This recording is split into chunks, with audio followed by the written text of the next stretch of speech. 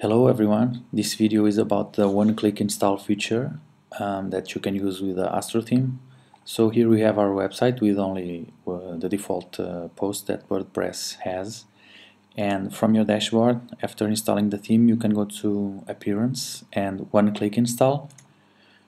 And uh, so here we are saying that yes we want to use this feature. Let's uh, save changes.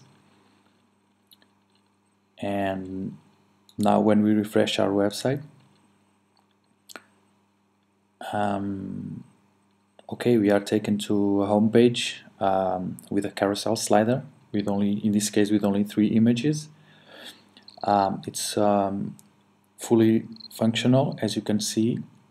And um, besides these um, these posts that you that you have here uh, as you can see they, they have information and um, besides these posts um, let's see what we have already uh, added to our theme also.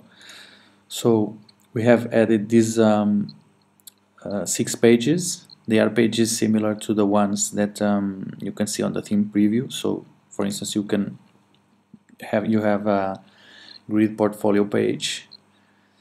Um, you have a full screen slider page.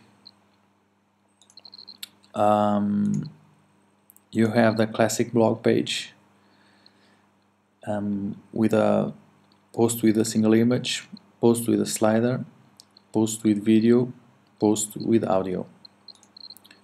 Uh, you also have a masonry blog page with the same uh, posts.